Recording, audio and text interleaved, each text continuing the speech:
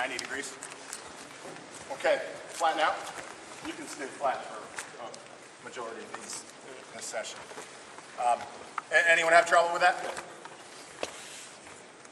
Okay.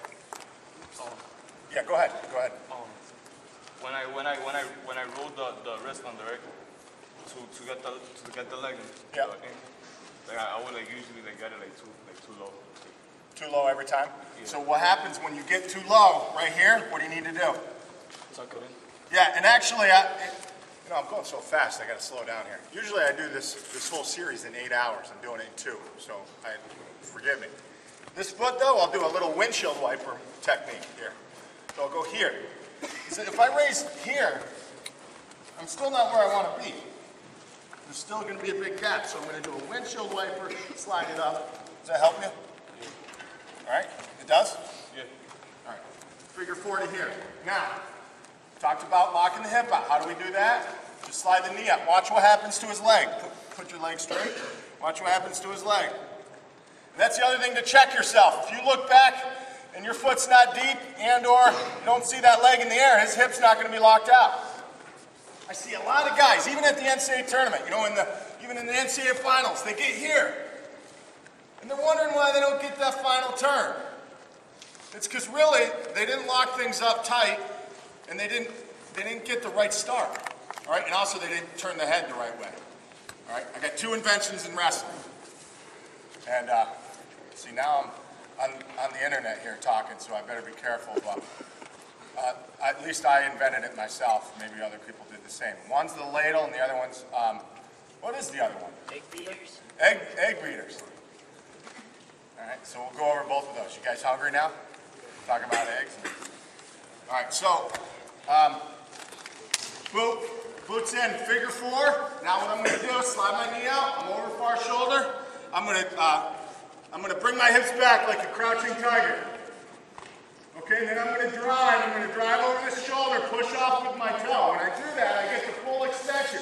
When I'm at full extension, I shock his hips. How do I do that?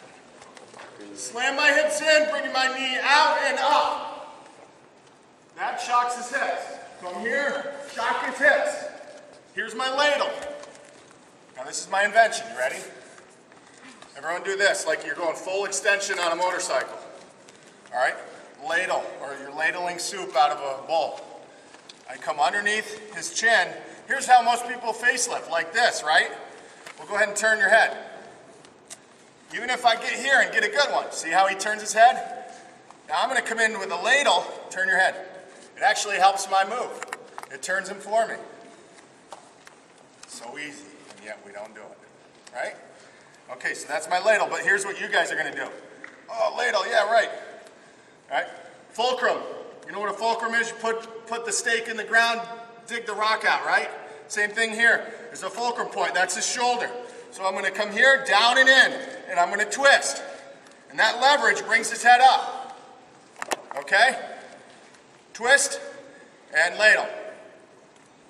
Got it? All right, so how do we turn this guy? What's turning him? My ladle with my upper body, right? And what with my uh, lower body?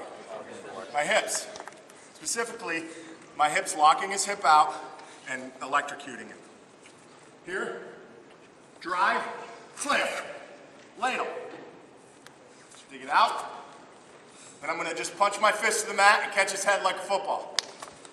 Make his teeth chatter, you hear that? then we spike. No, I'm just kidding. Don't do that. Hold head under. All right. So in a match, you know, you're kind of gonna see it like this. So that was good technique. Why? Those of you guys have been to boot camps uh, in the past.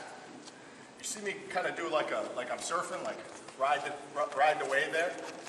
See that? That means that he's carrying all my weight. Here's what we do. Here's what wrestlers do in high school here. Oh yeah, I'm to turn him.